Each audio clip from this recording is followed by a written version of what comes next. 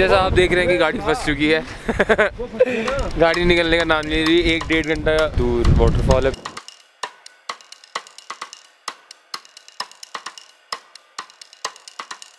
आप खड़ा हो जा स्टेबल चिल ब्रो